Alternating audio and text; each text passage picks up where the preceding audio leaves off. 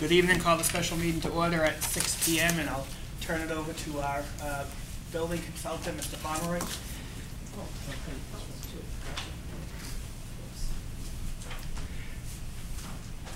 Uh, Good evening. Thank you for coming tonight. My name is Richard Pomeroy from Pomeroy Associates, and myself, along with uh, Andrew DiGiamo, DiGiamo, uh, from Compass Group Architecture, is going to provide you with the results of the feasibility study that we've conducted over the last several months uh, for the uh, Raynham uh, Fire Department uh, portion of the building. The overall, uh, the beginning of the assessment was to look at the options to put a, a bunk room on top of the existing facility and, you know, determine the best means and methods to accomplish that. Uh, Part of that process was to do a full study of the existing facility to completely understand uh, what you have right now and how we can build off of that. And during that process, uh, we've, uh, we've discovered a lot of, uh, uh, a lot of eye-opening uh, items that we wanted to bring to your attention. Things that, that the department and the town have been aware of for years, things that, you know, we'd like to bring to your attention to help, help you understand part of our recommendations and some of the decision process, decision-making process that's taken place over the last several months. So what we're going to do is, uh, we're going to give you a walk down the path of, uh, of our illustrious architect and their, and their role in this responsi, in this responsibility. And that's really looking at, as I said, your existing facility. And how does it work now? How will it work in the future? And how does it meet the needs of the department? Or how does it not meet the needs of the department? Uh, in- all the while considering growth uh, within the community. So I'm just going to turn it over to Andy. Uh, Andy, I may jump in once in a while to add one uh, uh, thing here or there, but uh, it's your show right now. Thank you, Rick. Thanks. Hi, I'm Andrew DiGiamo, Compass Group Architecture, if you don't know me. Uh, First off, there's some handouts on the counter, if you haven't gotten any. There's both an eight and a half by eleven packet and eleven seventeen. Grab one. So over the last uh, few months, I've been um, studying your existing public uh, safety facility and your, particularly your fire department, its operations, what equipment it has, and how it functions. So tonight, we're going, I'm going to present to you what I found. And um, we were also tasked with seeing if we could uh, add to the addition that's on the side. I have an answer for that tonight, and um, also have come up with a solution uh, based on what I found.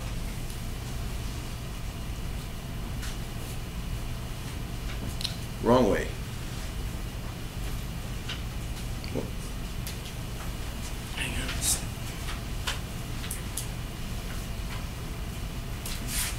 There we go. So the objectives, uh, tonight, we're gonna discuss uh, the existing site conditions at- on Orchard Street, the existing building, which is 700 and 7,425 square feet. I'm gonna discuss a space needs assessment.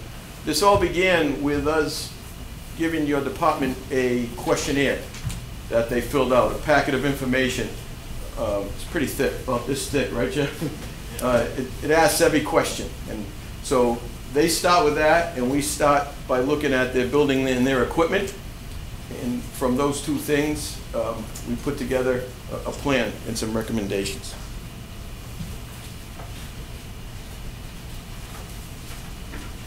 So, um, that's the space needs assessment, and you'll see that the space needs assessment, which is in your packet, I've, we've organized it into three columns. The first column is white. The white column is an ideal or an industry standard, I won't say ideal, that's an industry standard for a town of your size. And, uh, you know, the type of buildings you have in your town, how many people are on your force. The middle column, which is light gray, which I, I'm gonna go to that, I'm gonna go there for, I'm gonna get there for you.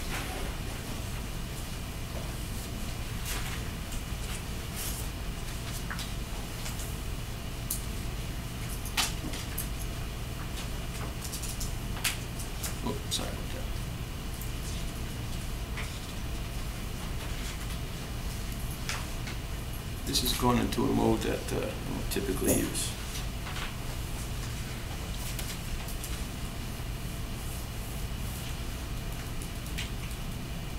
There we go, that's back in the book. So let me run down the, um, I'll, I'll, run down the overview for you, and then we'll get back to that space needs assessment.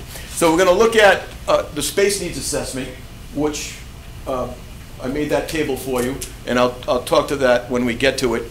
And then we're going to look at the pre-engineered metal building that sits on the site. It's a forty by sixty building, uh, that's uh, currently on the site and is used for storage and as an apparatus bay for an engine and the foam truck and trailer and some other things.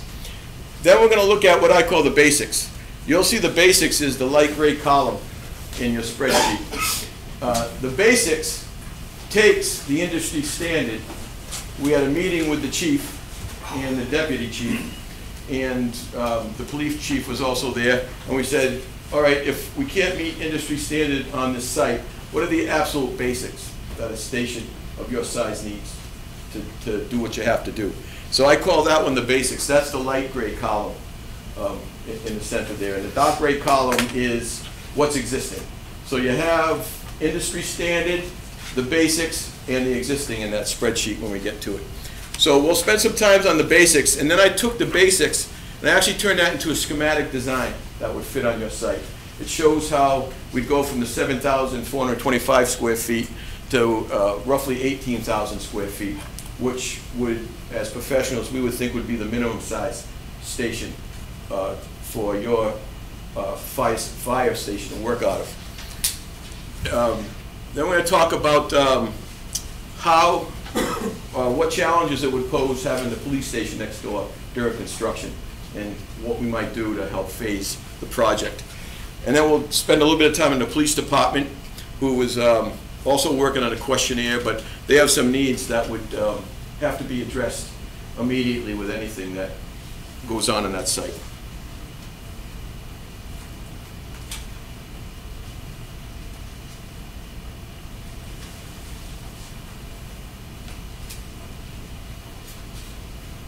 Whoops.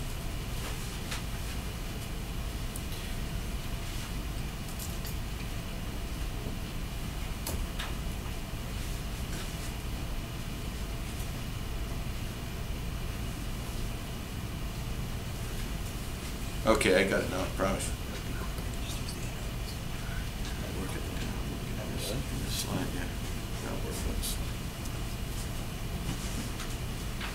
The existing site at 37 Orchard. I'm sure you're all familiar with it. Let me get my pointer. Just to give you a quick orientation, here's Orchard Street to orient you. This is north at the top of the page. Here's the fire department and the police department right alongside it. Vehicular circulation is a U around the building with, with parking at, at various parts of the parking lot. Here is the auxiliary building that we'll talk about, the 40 by 60, 2,400 square foot building. This is the big lawn out in the back, which they have some mobile storage unit that they use uh, to store some of their equipment. It's a 3.1 uh, acre site.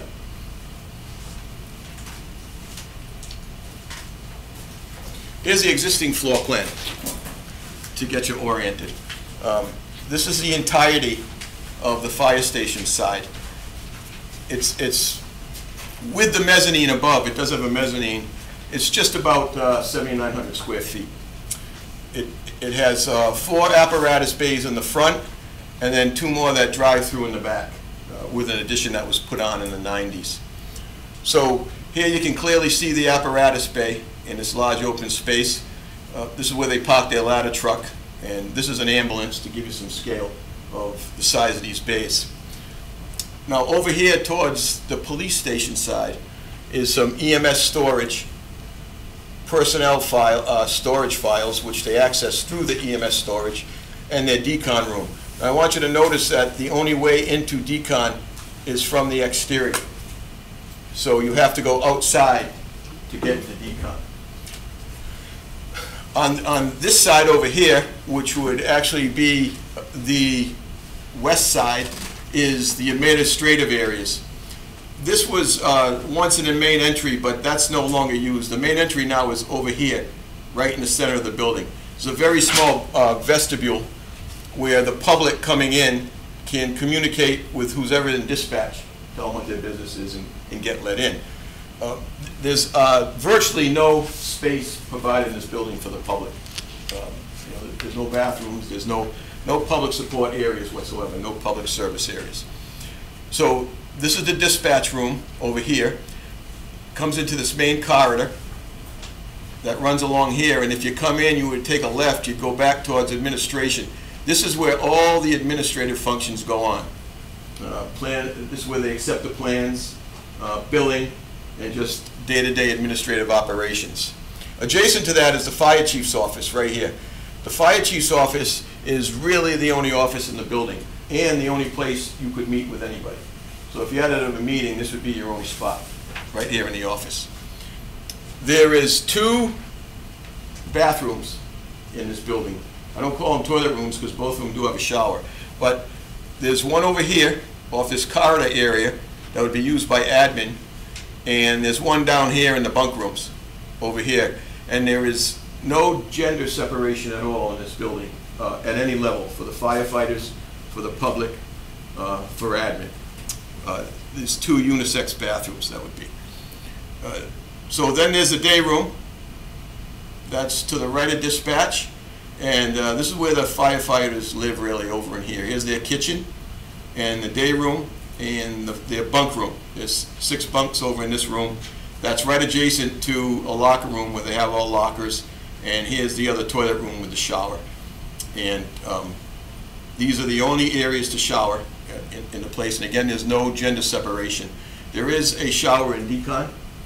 Um, And I'll talk about that later when we talk specifically about decon.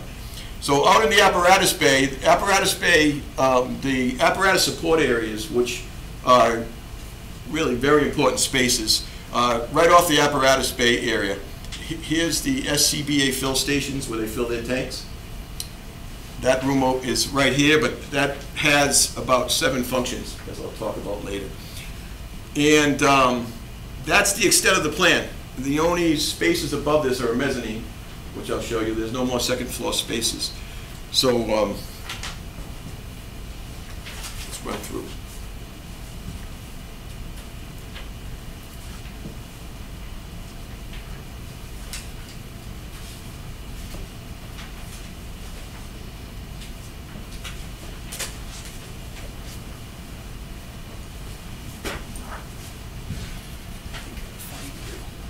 Yeah, no, I can't go to this over here. There you go. Just see 'em. Yeah, that works. Yeah, so you advance the slides for me. Okay. You want us to advance the slides for you, Andy? I There you think, go. um, I think the arrow should work now. Yeah, I think we're good. The existing section through the building, uh, th- th- this, this building on 37 Orchard Street was originally designed and used as a town hall and a D, a a highway bond, DPW bond. So the apparatus base are really the old highway bond base, with an addition that was put on uh, off the back in the 90s. The, um, inside this apparatus bay, there's also a mezzanine which we can see in section here. I'll, I'll talk about that a little later in the photos. The uh, addition, i- the, the original building is type 3B construction. That means it has masonry bearing walls and a steel bar joist roof with wood plank deck. The additions that were put on later is 5B construction. 5B construction is uh, house construction, basically. It's unprotected uh, wood frame construction. So the nine, anything put on in the 90s is 5B, and then there was an addition around 2000, uh, which I'll show you later, that's uh, a single width masonry block.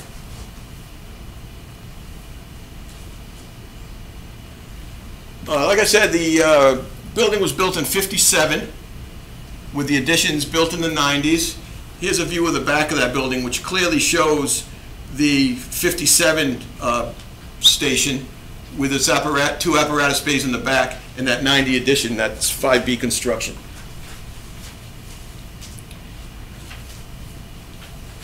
So this is a view of that steel bar joist with the wood plank deck and the masonry walls that make this a 3B construction. Here's the mezzanine we talked about. The mezzanine has many uses, storage, the water heaters up there, and the compressors for the fill stations.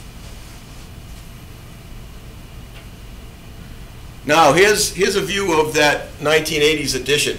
You can see that it's all unprotected wood frame. What you're seeing here is the original addition with some Texture 111 boards.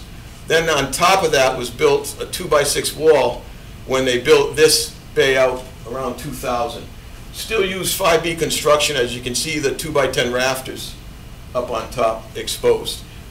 Uh, All 5B construction in this portion.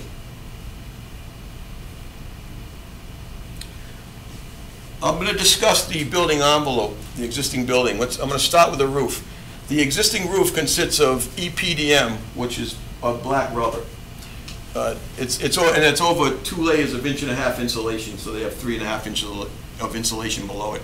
The majority of the roof membrane was installed in the 90s, is over 20 years old. The lifespan of this type of roofing system is typically 20 to 30 years. And it's shown its age, as you can see in this view over here. Uh, A lot of the flashing conditions are pulling away. We can see that over here. And uh, that's typical of a- a roo- of a roof this age.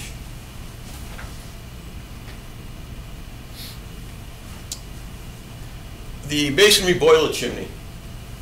This building is heated with two gas-fired masonry boilers, and here's the chimney that vents them. This is the chimney cap right here. The, um, the water just pours down through the building and and saturates the chimney.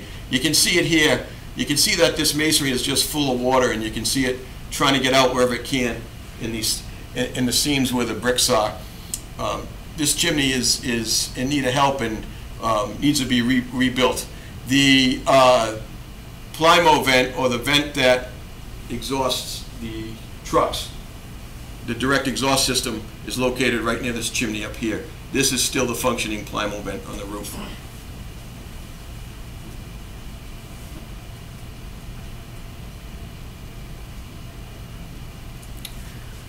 The masonry walls. The uh, the the 1957 masonry walls have no insulation between uh, the brick veneer and the CMU block. So virtually the walls have no insulation in between them. The, it- you can see that um, these walls get soaked. You can see the moisture inside the wall is pushing the paint off on the inside of the CMU that you can see peeling here.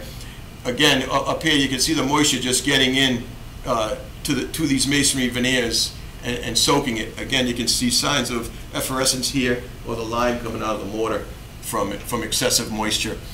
The only um, chance of insulation in these walls would be like a vermiculite that would be poured between the cores at this time, but I could not find any signs of it with some blocks that had already been um, knocked out uh, above to get into a loft, um, short of drilling holes through the wall to see if there's any vermiculite. Um, But my assumption is no, from what I could gather from any hole I could find.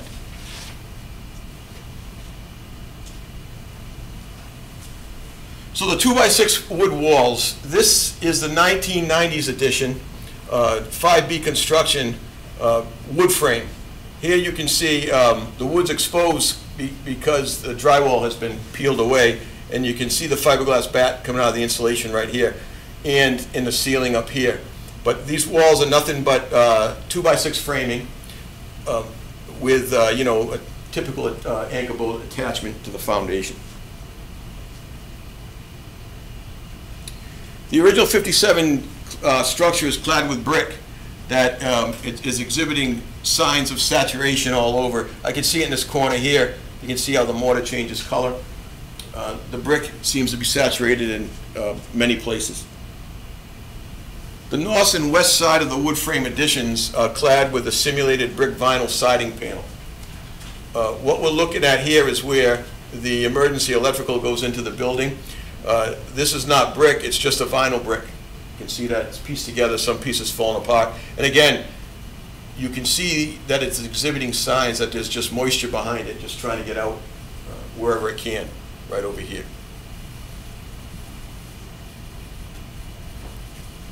A portion of the west side of the building at the apparatus bay door is a single-width, split-face CMU block. So this was built um, around 2000. It's a single width, meaning that there's just the block. The block you see outside is the block you see inside. And again, it's showing signs of uh, water infiltration uh, all around it. Here you're seeing the lime getting driven out through the wall from the mortar.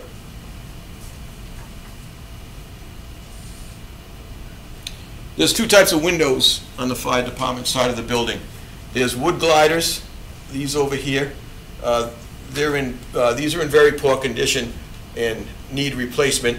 Uh, Paint is coming off them. And you can see, uh, this is that vinyl siding again. See it buckling around that window where water gets in around its head.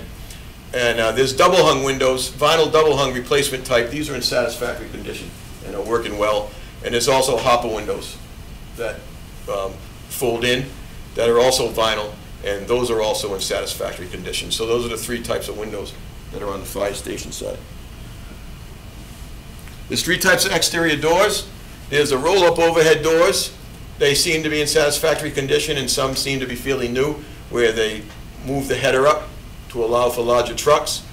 Eh, and aluminum storefront doors at the main entries and um, the entry over here that's not used anymore, those are in, those are older and in poor condition. And there's some residential type steel doors with some storm doors out in front. This is the door that goes into the bunk area. Those are in poor condition, starting to rust. The domestic water service comes into the building in the apparatus bay.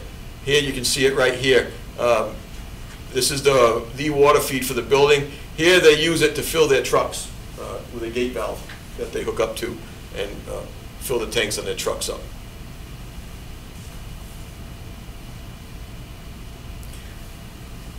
The electric service. The electric service and the emergency generator service enters the building on the west side. The main service is run underground and is fed from a pole located in the church parking lot to the north. The emergency electrical service runs underground from the generator that's located out by the auxiliary building. And the gear is mounted in the vinyl-clad two-by-six exterior wall. Here's that wall right here, there's that picture I took before. This is what we were looking at right over here. The current service is 400 amps, 120 208 volts. But then that's split. The fire station gets two and the police station gets two. So there's 400 coming in, but they split and give, and give two to each.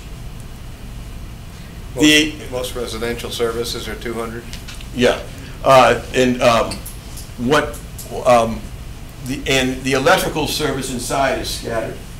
There's no electrical room, there's no rated electrical room for the emergency panels, which should be two-hour rated, and uh, panels are scattered throughout the building.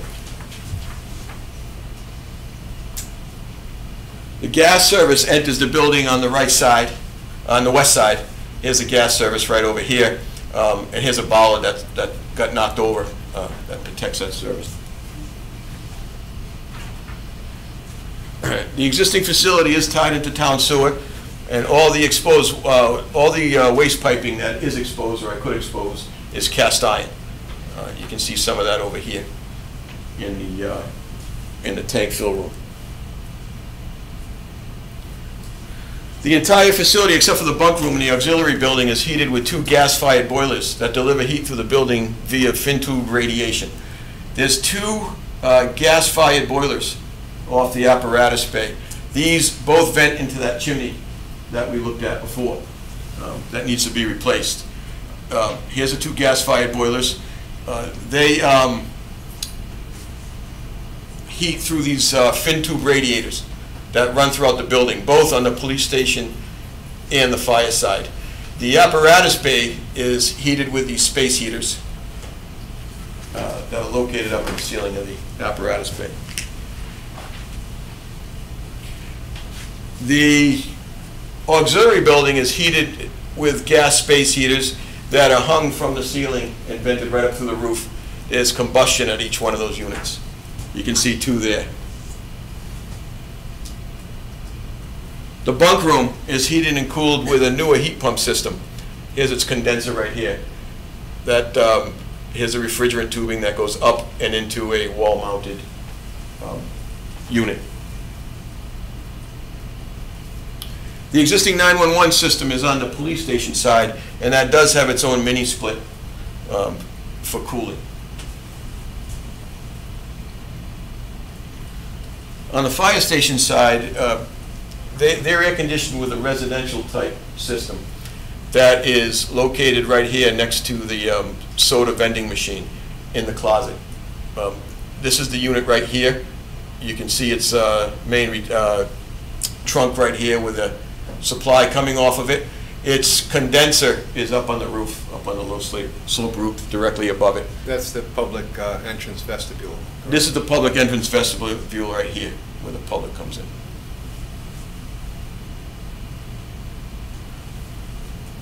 Uh, Ventilation. There is currently no mechanical fresh air being brought into the fire station side.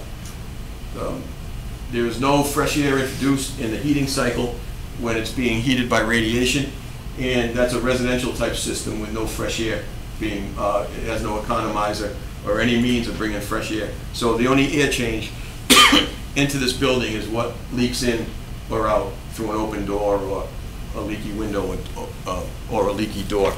Uh, The police station side does have some rooftops with economizers, but not on the fire station side.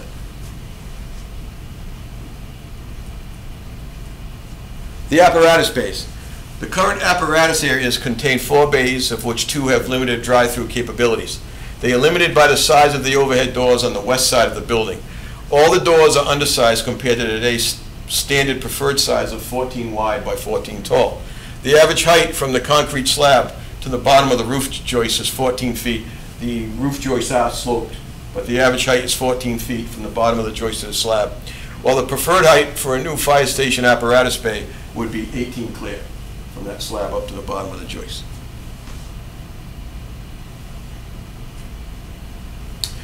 The mezzanine that we've talked about before within the apparatus bays is used for air compressors, hot water heater, other mechanical functions, and general storage.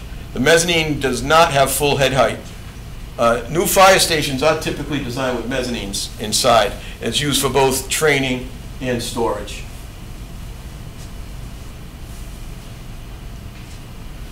The apparatus bays are equipped with a Plymovent, direct capture vehicle exhaust system. The apparatus bays are also equipped with compressed air and electric reel system. The apparatus bays do not have a proper floor drain system. Uh, Out on the main floor, they do have these rectangular bays in the center, and the floor is pitched to it, as you can see some flow from the water getting to it. But on, on the two outside bays with the two doors, they're drained um, through this cast iron pipe that they, uh, they cut with a grinder, some grooves into it. This is what um, drains the shower unit in the decon. So the water flows in through this shaped concrete and into the slit that they ground with a grinder. The bunker gear or turnout gear is currently stored within the apparatus bay with no means of dedicated ventilation or UV protection. Uh, uh, Bunker gear does outgas, um, whatever's on it. And uh, UV also degrades it uh, or will deteriorate it more rapidly than if it's protected from the sun. You can see over here, um, there's, uh, you know, you need a lot of room to store turnout gear. You can see that these are in the direct sun whenever the apparatus bay is open. The decontamination room. The current decon room can only be accessed from the exterior building, like we talked about before in the floor plan. There is that access. Uh, it- That poses both a safety issue and inclement weather along with a hygiene issue. The room is also cluttered with miscellaneous storage. The room contains an extractor. It doesn't have an extractor, uh, which is really a big washing, big heavy-duty washing machine, a residential dryer, and a handheld shower for the purpose of decontamination, decontaminating personal protection equipment. A proper decontamination room would also contain, which we do not have here, a large stainless steel sink with 30-inch stainless counter and a residential uh, washer to clean uh, stretcher linens and et cetera, and also a large drying cabinet when the stuff comes out of the extractor, which is not there. The self-contained breathing apparatus fill room, or the SCBA fill room. The SBA, the SCBA fill room is currently serving at least seven functions, and, and probably more, and does not have any equipment uh, provisions for cleaning masks, which is very important. These include the breathing tank, filling station, and storage, oxygen tank storage, uh, the station's ice machine, bottled water, bottled water storage, equipment repair, workroom, tool storage, an emergency electric room. In addition to the SCBA fill station, this room uh, must have a two-base stainless sink. So um, you need a two-base stainless sink in these rooms for proper washing of the firefighters' masks. Um, There is no sink in there, and you need somewhere to dry the mask, like a pot rack and whatnot. Currently, I believe you're washing your masks in this slop sink, that's right in the apparatus bay, with, with no means of drying those masks. Um, there also needs to be brackets on the wall to store the backpacks and the harnesses for the breathing tanks. The personnel breathing tank should be stored on a portable rack system with wheels. And the green oxygen tanks uh, that are in there, that should go to EMS storage room. Um, And all the repair and equipment tools, such as chainsaws, grinders, everything else, that should really be moved to a separate room. And the hydration room, or the room with the ice machine and bottled water, which is important for firefighters, should be located in a separate, what we call hydration rooms, where there's an ice maker, bottled water uh, for their use. The emergency electrical service from the generator, that needs to be moved to a two-hour rated room.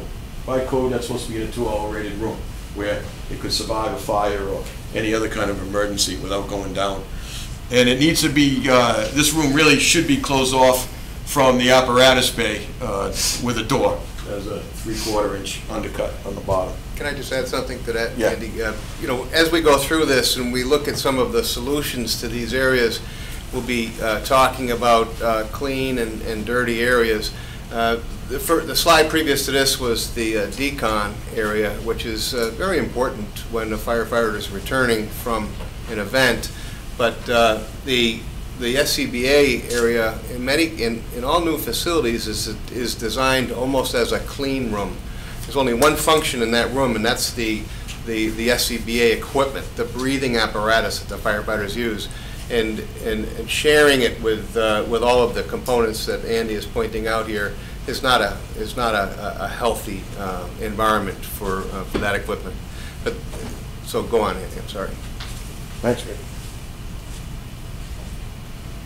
The emergency electric equipment, um, which is in the uh, fill station room, um, this is, this is fed by the generator that's out by the auxiliary building. Uh, And like I said, uh, this should be in its own two-hour rated room.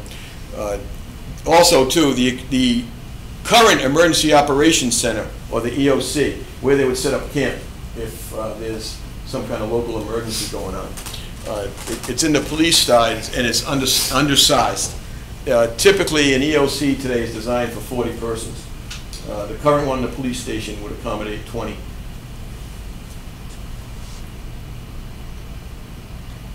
The uh, personal hydration supplies and equipment, as I mentioned before, should have their own hygienic area or a separate room. This room should include an ice machine, a small reach-in cooler for bottled water, an area, an area for un, for storage of unrefrigerated bottled water, and a bottle fill station, a wall-mounted drinking fountain. All these functions are currently loaded, located in the tank fill room. Uh, EMS equipment storage. The EMS storage room is a large 10-foot 6 by 18-8 area that is also used as a passageway to access the wreckage storage room. Um, So the EMS storage over here is used to get, to access into the uh, personnel files. Uh, A general uh, EMS storage room and a separate EMS clean room is what we're after today. So typically, there's two parts to EMS storage. There's a general storage, uh, and then there's uh, uh, what we call um, a clean room EMS storage. That is a nice stainless steel counter with a sink where you can set up your bags, and as a ref- a- a refrigerator that's under lock and key, where you can put any drugs and lock them up. The existing bunk room, 17 and a half feet by 22. It's an open space with six beds. Um, This, this gentleman got up so I could take the picture, that's why his bed's not made. Uh, It's adjacent to the locker room and one single bathroom and a toilet, sink, and shower. There are no provisions for female firefighters at this time uh, whatsoever. I don't know what they would do with her if she was hired. Here's a locker room that's adjacent, and here's that bunk room. There's that mini split system that heats and cools it. There's that um, residential storm door we saw from the outside. The day room. The day room is, uh, is, a- is a decent size. It's 14 foot by 17 foot 8 with comfortable seat- seating and a good television set. It has been uh, newly remodeled, and along with the kitchen, it's one of the nicest rooms in the station. Uh, There's a kitchen, which um, has been newly remodeled. Uh, The only place to sit down, though, and eat is at this island in the middle. There is no room with a dining table, uh, with a dining room table, and uh, this kitchen is not properly vented. Administration, uh, this is it. This is where everything happens. Billing, plan storage, uh, this is where they accept the plans in from the public, um, and any other administrative function. And then to the right of that is a chief's office that's 12 feet by 13 foot 8. And this is the only place in this building where you could have any kind of a private meeting with anybody.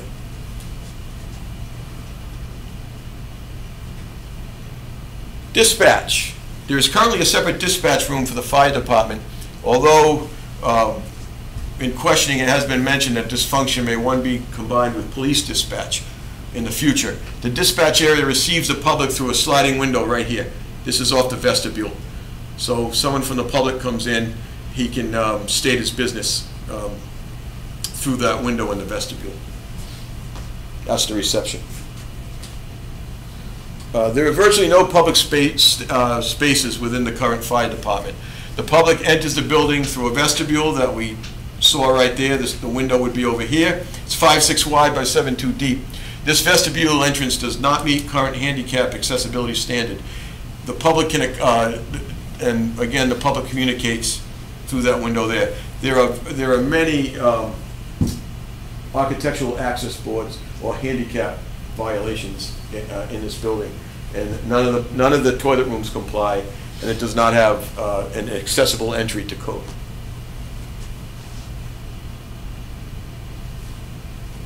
We've already talked about this, but there are only two, two toilet rooms in the entire fire station. Uh, and both are can be uh, considered unisex. In other words, both are used by both genders. Um, One is located uh, out near the chief's office in administration, and the other one is off the bunk room. That's this one off the bunk room right there. Um, They, these toilet rooms do not meet handicap accessibility, and these are the only two showers um, in the building also. Uh, Very important in a, in- in a fire station to have a toilet room off the apparatus bay, so that when they come back from a fire, they can go and use the toilet room without walking through um, all of the admin or living quarters while they've just come back dirty from a fire. Uh, Structural code analysis, a quick structural code synopsis. This is from 780 CMR 9th edition, which is the current edition here in Massachusetts. Uh, The use of the building would fall under risk category four, which is the highest one. What this means is, a use group is given a risk category. So uh, an office building would have a very different risk category than a fire station. Fire stations, police stations, hospital, those are highest risk categories. So we have to design to higher standards when you're designing this building. You cannot use the same standards as an office building. You have to use greater loads, you gotta use greater snow loads, greater seismic loads, greater wind loads, everything. Uh, The thinking is, is that this building uh, must stand through anything uh, during an emergency. The second floor design load um, would appear to be 40 pounds per square foot for just a residential occupancy. This, this will start, we'll start seeing that. We looked at uh, putting some living quarters up on a second floor, because the second floor is very conducive to living stations, uh, living quarters in a fire station. Uh, You do not need to service it by an elevator, because they're all able-bodied firefighters that get up there, and it'd be a good use of space here, where space is at a premium, because the setbacks are so tight here, and we don't have much room to add on. So that would be a standard 40 pounds per square foot uh, residential occupancy load, and I have talked to the building official about that, and he agrees. Uh, Raynham is in a 35 pounds per square foot uh, snow zone. Um, However, um, we take that snow, and in a risk category four, we add 20% to it. Uh, That's because uh, this building has to, if, if we got that 500-year blizzard, uh, its roof has to be good, has to stand. Um, So, and, and uh, the wind zone is 145 miles per hour, which is for ultimate wind speed in risk category four. Now, the 145, that may sound crazy. Well, not so crazy after, what was it, Dorian? But that's not 145, um, that's not a nominal or an actual wind speed. Uh, That's a wind speed with, it's called ultimate wind speed. There's some safety factors, there's some uh, uh, safety factors built into that wind because it is a risk category four. So if, uh, if you convert that back down to nominal, let's put an example, say we were gonna build a house next door, that design wind speed would be about 113 pounds. So again, that's at risk category four. That's, that's adding to this. And I, we had to use these loads when we're analyzing the structure. That's what we have to compare them to. Uh, We talked about the importance factor for snow loads, it's another 20%. And the important factor for seismic is another 50%. So we take the seismic loads out of the code, and um, we add another 50% to it. Uh, IBC, the International Building Code, which 2000 IBC is the code, that's the basis for 780 CMR. It does have a windborne debris requirement. Um, That, uh, for any, any buildings in uh, regions with wind speeds over 140, that means we have to protect the openings. So the uh, openings in the, in, in the fire station need to be impact resistant. So if something gets blown from the yard next door, smashes into the window, uh, it, it can't cave in and become an open structure. It's gotta uh, resist a certain impact test. So all the windows either have to be impact glass or have shutters coming over them. So based on these seven points above, uh, the existing building would have to be laterally reinforced for both increased wind and seismic loads. Of particular concern are the large overhead door openings in the existing masonry building. Um, So, you know, the two types of load we look at is the one that act on it laterally and try to push the building over like this. So you can imagine that big openings in a wall, such as an overhead door for a fire truck to drive through, are very weak. Um, There's not much wall to support it. Um, So those would have to be reinforced with steel frames in, in this building um, if it were renovated. Uh, Also, the existing wood frame additions are not support, are not suitable for supporting a new second floor addition. These walls do not meet a, a risk category four criteria to put a second floor on top of it. Um, They would, um, of course you could, but it would take so much to reinforce them and how they're tied to the foundation that it'd be cheaper to take them down and put new back up. So by code, you could not build on top of these without spending a lot of money or putting good towards bad. Uh, The, the existing roof structure uh, will need to be reinforced due to new snow drifting conditions. So if we did uh, go up with a second story near that existing apparatus bay, that's going to cause a drifting condition of the snow. That code tells you exactly how to calculate that, and we would have to reinforce the, the existing joists that are there. Fire sprinklers and accessibility. Uh, Let's talk about that. This again is from 780 CMR 9th edition, and also 521 CMR in Mass General Law. 520, um, 521 CMR is unique to Massachusetts. It's a handicap code. It's called uh, Architectural Access Board, the MAAB, and they have a whole set of standards for public buildings. Uh, Due to the public safety building size and extent of the need of renovations and additions, the entire building would require fire sprinklers. So if this building was renovated, uh, due to its size and use group, it's got to be sprinkled, and- and and it's not. Um, uh, uh, One thing that could be looked at if you are renovating only the fire side is to develop the wall between them as a two-hour firewall, protecting all its openings and giving it the integrity of a two-hour firewall so that you could phase it. Eventually, it falls to be sprinkled, but that would allow you to phase it during this project and then um, handle the police side at another time. The current facility has many issues concerning handicapped accessibility. The accessible routes from the parking lot are not up to current standards. People have to understand the concept of accessible route. It's not just about uh, designating a certain amount of parking spaces and putting a sign there. You have to, from where they get out of their vehicle, all the way into the building has to be on an approved accessible route. All the grades have to be, uh, you know, at a certain slope.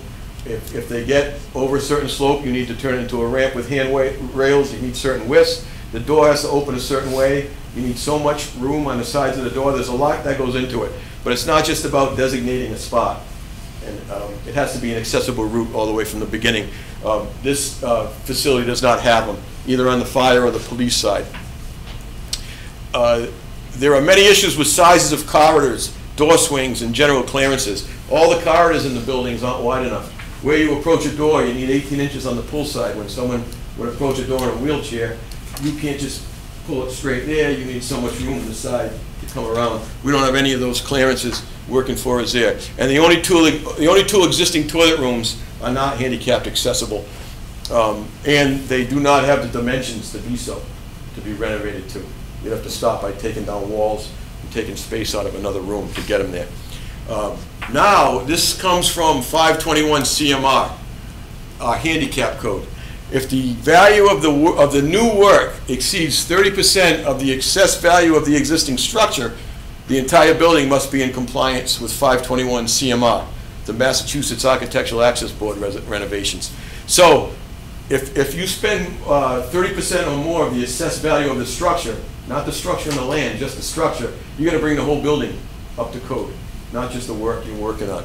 So the current assessed value of the public safety facility, I got this offline, is two million, seven hundred and forty-six thousand, one hundred dollars. This would be a construction value of eight hundred and twenty-three thousand, eight hundred and thirty dollars. That would be a cap. Once you spend that much, you then, to meet code, have to bring the whole building up, if you're gonna spend thirty percent or more. Um, So that would be uh, our threshold. So, I talked to you about this um, special needs assessment. Uh, When I, when I, uh, when we took this study on, uh, it became evident to me immediately. Uh, The task at hand was look at adding a second story over the 1990s addition. Uh, I couldn't do that in, in good faith. It- It's what I would call maybe putting the cart before the horse.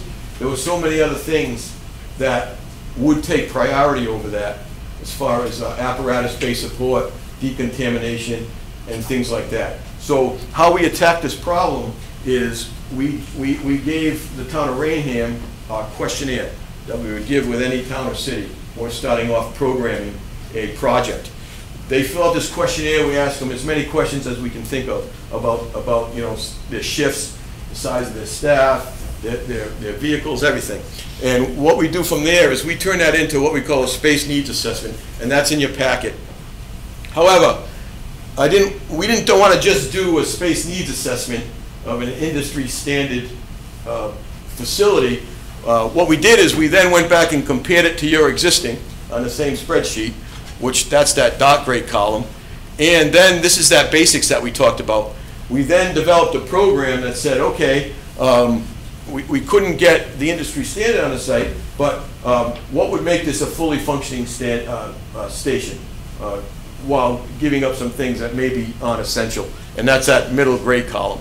So over here, I'm, I'm not gonna run through every space with you, you can take that back with you and look at it, but uh, it's broken into the major uh, portions of a fire station, uh, such as the public, where the public would come in, and then it starts to get, on page one, there's four pages to it, gets into operations of the administration spaces. Now, how this, how this works is, um, let's take a space like uh, the public meeting room or the EOC. We talked about the EOC, the Emergency uh, Operations Center. That room, uh, of course, it's there for emergency operations, but it also serves other functions. One of its main functions is a training room uh, for firefighters and police. Uh, The magic number we shoot for those is 40 people. That, that's a magic number that has to do with training numbers and being able to get your training for free if you're able to bring other towns in to do it with you. So 40 people, and it also serves as a meeting space. I've had many meetings like this in EOCs or, or training rooms um, in, in- in certain towns. So uh, let's, let's take and let's look at that. Here's the public meeting or the training. So this is the occupancy. We would, uh, the industry standard would be to design that for 40 in a program. Uh, Number of rooms, it's one room. Uh, And the room area is, uh, is a 1,000 square feet. This is just an algorithm we developed about if you're gonna have 40 people in one room, how big should that be? If it's an EOC or a meeting room like this. Uh, And that would be a subtotal. So if there was more than one room to this program component, uh, this number would change, but it doesn't here. So if you project this over, you'll see nothing in the dark gray column because that's the existing. In the basics, uh, in meeting um, with the departments, we figured we could get away with um, 622 square feet or about 25 people, if we had to. And um, I'll show you how I attack that you know, in the schematic. But that's how this table works. Like I said, we're not going to go through every one, but we will run down to the bottom. It's four pages long, and we'll see how it runs out.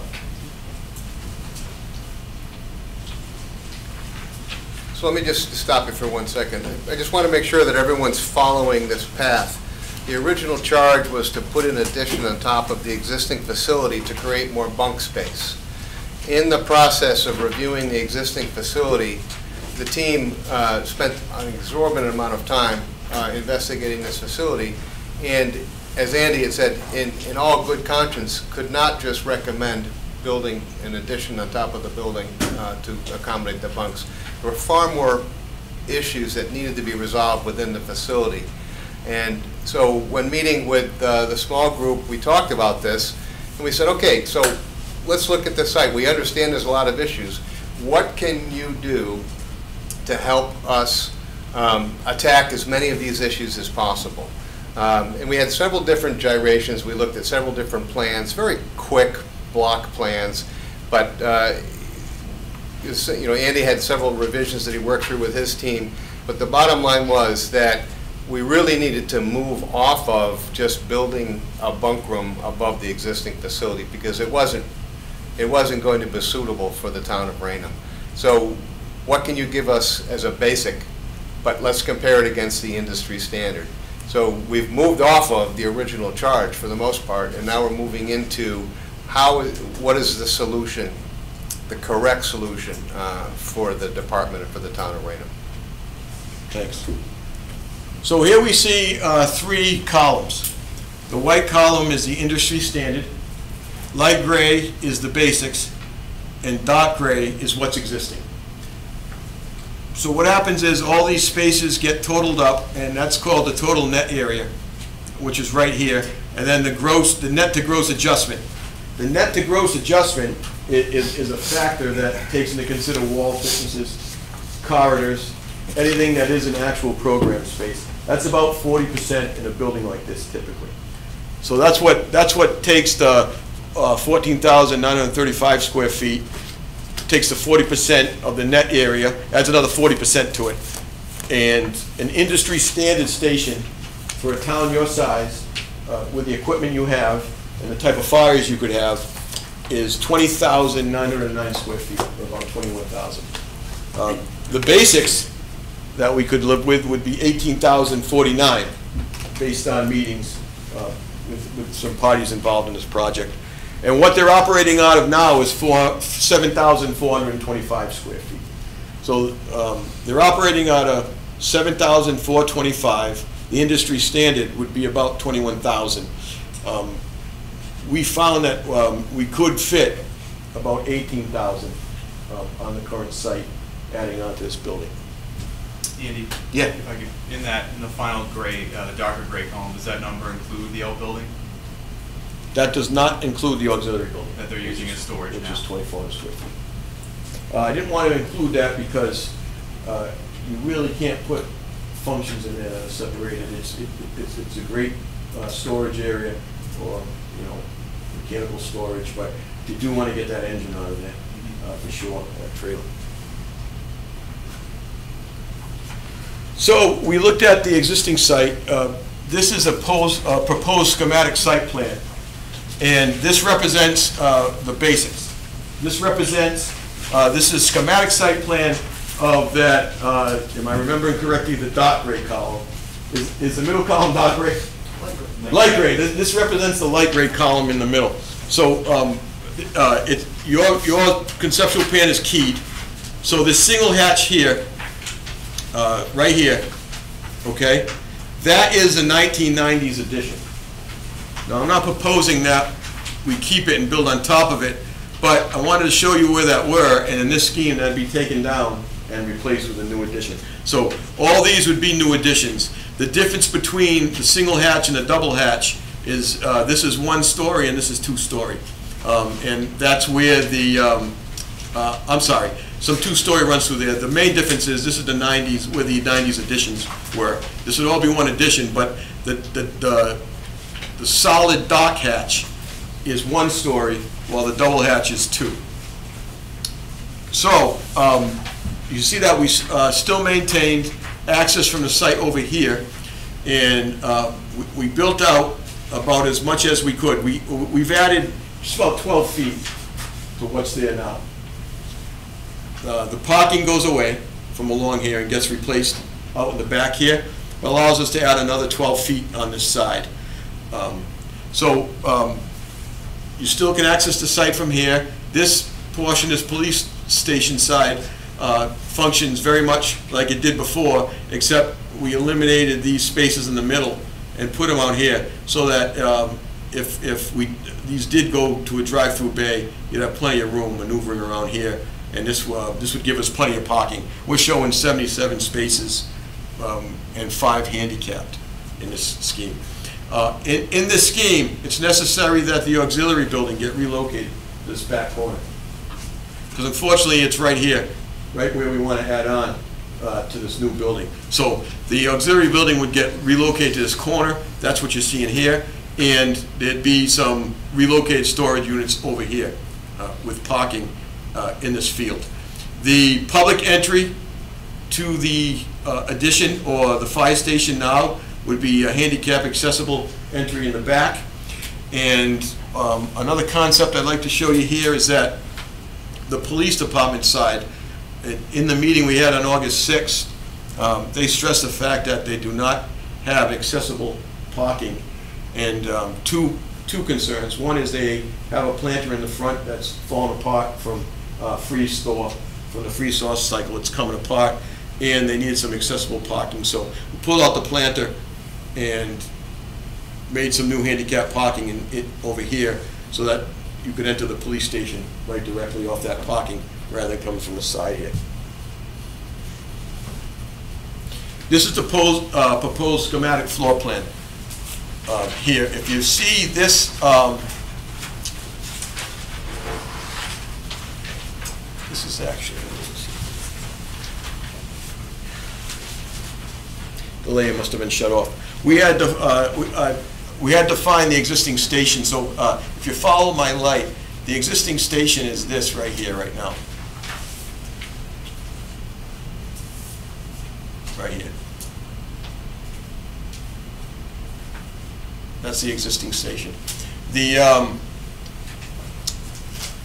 so, in this scheme, we added uh, 12 feet out, and um, you can see that we have now gotten um, six effective bays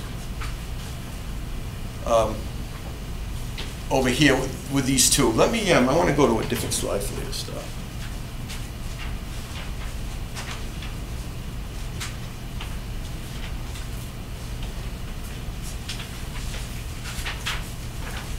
Here's the front of the building, that north elevation.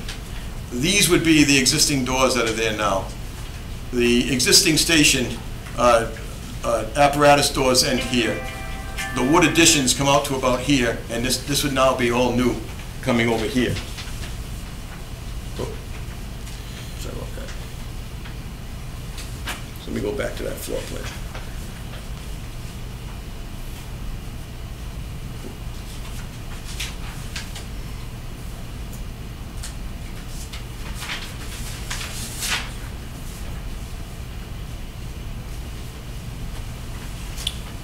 Wondering if, um, I think you've got the other program up there. what's that? I think you've got the original program up there.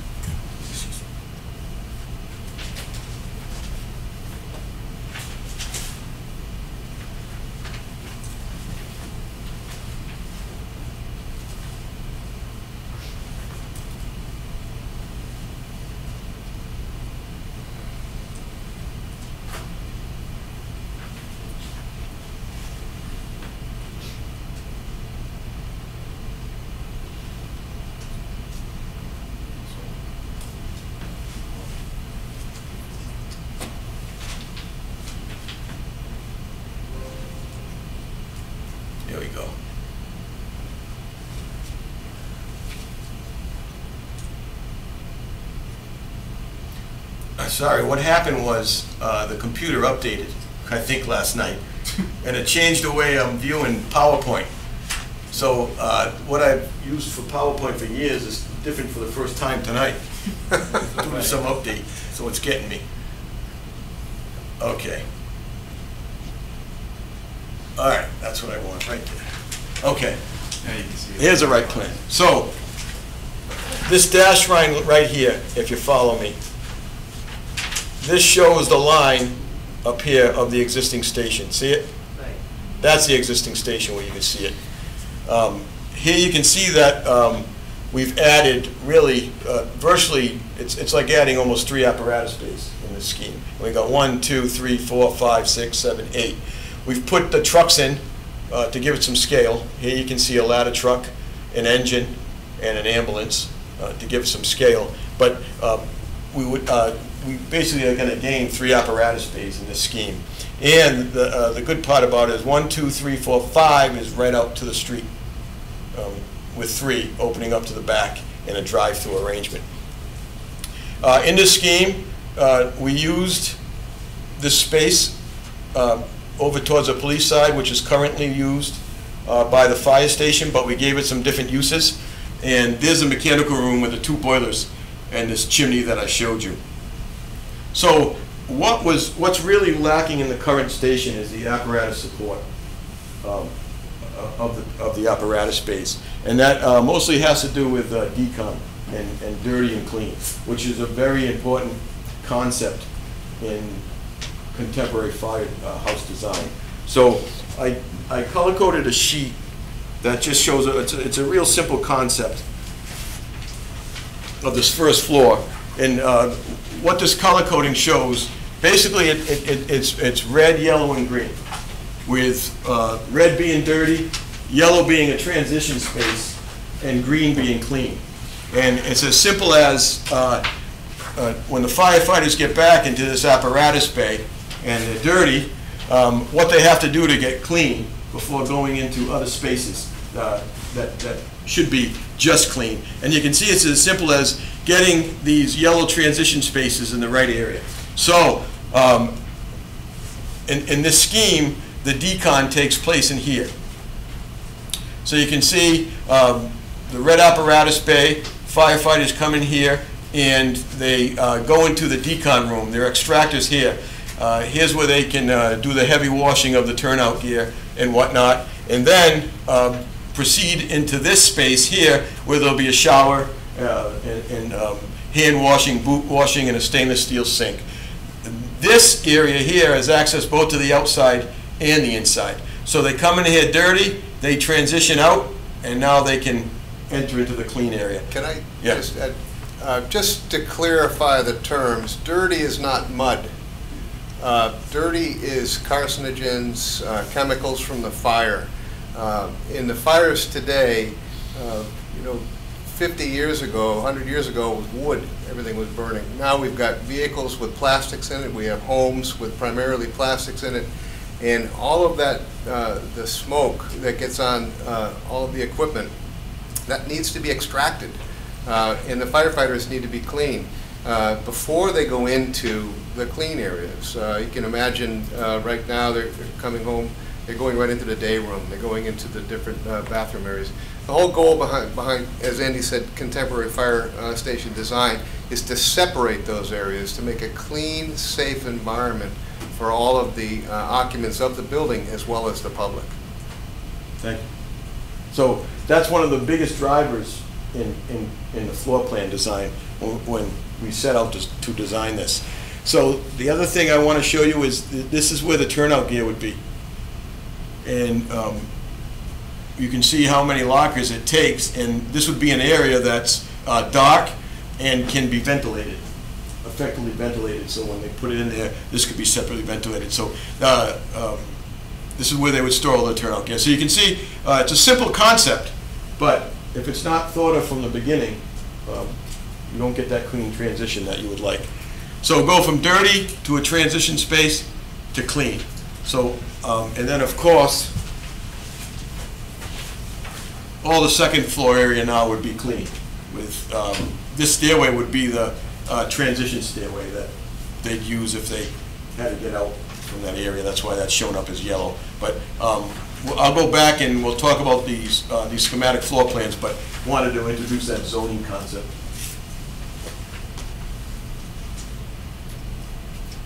So going back to the floor plan, I think the apparatus bay is uh, clear and easily understood. Like I said, here's our turnout gear now, all lined up in a room that uh, is protected from UV and would uh, vent out directly. Here's that all-important toilet room off that apparatus bay that a firefighter can use um, directly off the apparatus bay.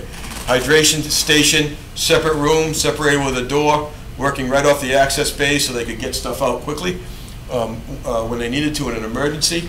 And then, um, this is that flow of dirty to clean, and then out into these clean areas. Um, So this is the decon room with the extractor, the the dryer, and um, um, a residential washer and dryer for washing linens down in here. Um, Then the decon room, and you're out. Now, um, here's the um, fill station room, uh, right over here, a whole separate room. Uh, It does have a door, I don't know, that layer must be shut off, but uh, this, this would have a door that closed. And um, this, this is all apparatus support now. This is all what's missing from the existing plan. Uh, This is what would give them that support. The decon, uh, the fill station, uh, the mechanic space where now, you know, they could uh, service their chainsaws in a nice separate room like this instead of in the fill station room. Um, Some nice general storage. And uh, this over here is a a water service room that would uh, bring in a new, uh, not um, just a new domestic, but also the fire sprinkler, which, uh, service which would come into here. Uh, A big part of the plan are these two uh, one-hour rated stairs, required by code. I looked at every exception I could to see if um, only one would be required, but um, we we don't make it. So we need two fire-rated stairs uh, to service a building this size and this type. Uh, We'll look at the living quarters, which be above it, but um, the crux of this plan, now that you've had time to digest it, apparatus bays, apparatus support, turnout gear area, and then down here, uh, reusing this space that's already dedicated to fire, because this really is the separation line between police and fire. Police is right over here. This would be um, EMS storage uh, over here. Um, Here's the EMS clean room with the sink and the fridge, and the EMS general storage room. Uh, a custodial closet where you could store supplies for cleaning uh, the bay uh, with its own slop sink inside, and your electrical room, uh, including an emergency electrical room that the generator would be piped to uh, with a two-hour rating.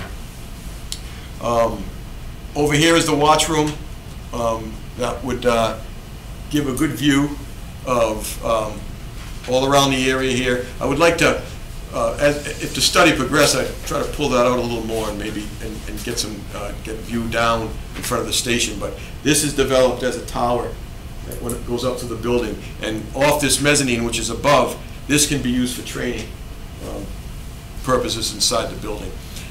This right here separates really the apparatus and support area from admin and public. Rem- uh, Remember, we brought the public entrance to the back, where you saw on your site plan the public parking here, and now the public would enter the building uh, from the back into a vestibule, and then into a lobby waiting area, um, which is directly off the EOC. We developed the EOC as a one-story um, L or addition. This would be able, we'd be able to control the size of this room without affecting the rest of the footprint. Wanted to push it and pull it. If you did want to go from that 625 to that 1,000, we could without affecting any of the building. Um, As you, as the scheme would get developed and you'd be looking at pricing. Um, Male and female restroom uh, off the admin and public area, uh, all dedicated, and then uh, the stairways up to the um, second floor, or uh, the firefighter space, living quarters. Uh, Any questions about the floor plan before we go up? It's in the packet in the 1117. So the second floor, now this would be the apparatus space below, and here's the mezzanine. It's L-shaped with the compressors over here, some storage over here, and this, this would be the training area, which uh, would also be this tower that would go up through the building, and that's what was expressed on the outside uh, when I went ahead in the slides. Um, These are the firefighters' um, bunks and lockers. Uh, A design we like to use today is, instead of making um, gang locker rooms and um, gang showers, we do individual toilet rooms with showers and um, individual bunk rooms that can become doubles uh, with the lockers right outside of their bunk room. Let me uh, pop ahead and blow it up. Here's what I was discussing. So uh, this would be a typical uh, bunk room, 11 foot 2 by 12 6. Um, We have it set up right now where they would all be singles, but you could double your staff within these rooms without adding on to them. The lockers are simply outside their rooms rather than a big gang locker room. And uh, the bathrooms um, are a private bathroom that has a shower and a toilet within it. Um, Don't get confused by the urinal. We, that's not made for two people to use at once. It's just made that um, a urinal could be used instead of the toilet in the men's room. So, these are all the bunk rooms. Uh, This would be the laundry area. And here's two bathrooms and toilets over here, and a third one over here. That would be a woman's, this would be dedicated to a woman's room. This would be two men's room over here. Um, Here's your two egress stairs, and then um, after, uh, towards the back, towards the back of the lot, uh, with plenty of daylight coming in, would be the living areas, such as the kitchen with an island, a dining table, and a day room, uh, where you could watch television or hang out and socialize. This is that one-story EOC below, and here's that entry portico on the first level you'd come in. Um, Any questions on the second floor? Uh, We already talked about the zoning. Were there any questions about the zoning?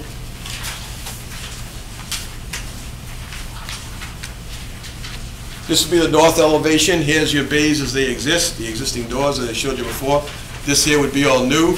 Uh, This is that tower, that would be the watch room and radio room up front, and uh, have a training capacity up on the second floor off the mezzanine. These doors would remain in this scheme. Uh, This is the south elevation now, the elevation where the public would enter from the back. This is that EOC, that room that we maybe could stretch if we wanted to get bigger. The living quarters up above this, and uh, three new doors in the back. That's the west elevation, the one along the side. Here's where the turnout gear is, so no windows. And these are just some windows that would let light in high up off the mezzanine. These would be windows in the bunk rooms, and again, back out to those living quarters. And um, this would be all windows and admin and whatnot, so a lot of natural light coming into the building. Uh, Let's just show you a quick section, uh, we had developed the sections in- into um, uh, actual construction materials so we could get some uh, cost data on what something like this would cost. So here is, this is the 57 apparatus bay that you can see right here, with the average height of 14 feet from slab to the bottom of the joist. Here's where um, we took the 90, this is the- where we took the 2,000 addition out and uh, pushed out to that same line, but with all our new construction over here. And you can see the two-story addition in the back. Uh, This clearly shows where you would have some snow drifting that you would have to uh, reinforce for. Uh, Taking a section the other way, this is through that uh, two-story space where the bunk rooms would be above and public and admin would be below. Um, All the walls and apparatus support would be uh, CMU, or block walls. Um, uh, There'd be all masonry walls in that area. And the floor system here is a a- a precast concrete plank. Uh, Makes for real good separation. We have to separate um, these upper floors by the apparatus functions uh, by an hour. That makes a real good separation, It's very efficient.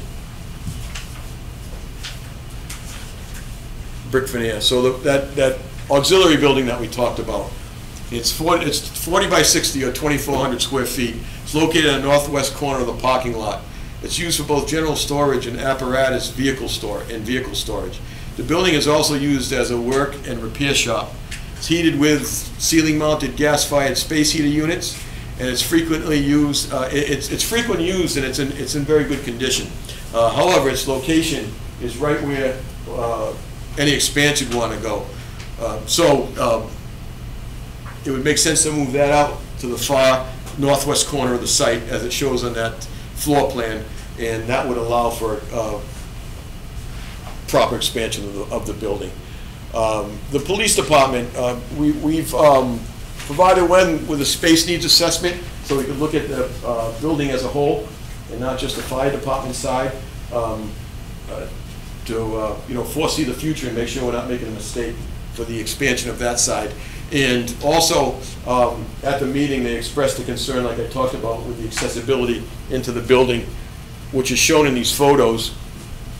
This is what I'm talking about with the accessible route. Here's your handicap parking spaces. Uh, This exceeds the slope that you can have uh, uh, in an accessible route. And then uh, it takes you either to these stairs all the way around uh, this grass front into the front of the building. Uh, doesn't currently work. Here's the front of that building, here's those stairs you would have to go up if you didn't go all the way out to the sidewalk and back around. And you can see that uh, these are getting filled with water, uh, freezing and thawing and just, just starting to push apart. So at a minimum, uh, these would have to be removed and replaced. And then we'd bring some handicap parking out, right out front here that you could turn right in on. Uh, Which I've been told uh, was there at one time and was removed. So conclusions. Uh, The immediate task, the immediate task at hand is to determine the feasibility of constructing a two-story addition to the existing fire station side of the Raynham Public Safety Building. Um, And we did that. And um, the answer is, uh, no, you could not just directly build on top of that uh, 5B type construction uh, from the 90s. Uh, We've carefully analyzed the site, the existing buildings, and developed a space need assessment in order to fully understand the feasibility of adding onto and renovating this building. So the space needs assessment and study of the existing buildings um, prioritizes things. Um, You know, should we be uh, uh, trying to build a second story on 5B construction before we get some of the equipment we need, or clean up the apparatus support bays and decon areas? Um, In our opinion, the answer is no. So the current 3.21 a- uh, thr- uh, 3.21 acre site on Orchard Street could uh, accommodate an updated modded fire station, although no, challenges do exist, like we saw in that site plan. The existing building was built in 57 as a DPW bond. The uh, uh, the existing apparatus bays are located within the space of the 57 construction. Uh, Public operations, firefighter living quarters, and support facilities are located in later additions to the original structure. The 1957 building is type 3B construction, which is conducive to an apparatus bay use, however, it is not sprinkled and in need of substantial upgrades to the envelope. Uh, the uh, Utilities and floor plan layout and the HVAC systems uh, need upgrading. The latter additions are of 5B construction and are not conducive to supporting the new construction of a second floor addition. Uh, Compass Group Architect will not build on top of these existing additions. An excessive, an extensive space needs assessment was performed for this uh, uh, feasibility study, and the following conclusions were made out of that. Uh, Given Raynham's populations and needs, the size of a new in- uh, industry standard firehouse is 20,909 square feet. The absolute minimum size of a newly renovated facility is 18,049 square feet. The current uh, facility operates out of 4,425 square feet.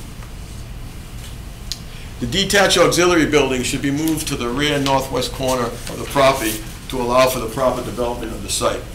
The existing masonry veneer is absorbing water and showing signs of saturation and failure. Uh, These masonry walls are soaked. Um, You can see it all over the place, exhibiting signs, and it's coming apart in some areas when it freezes.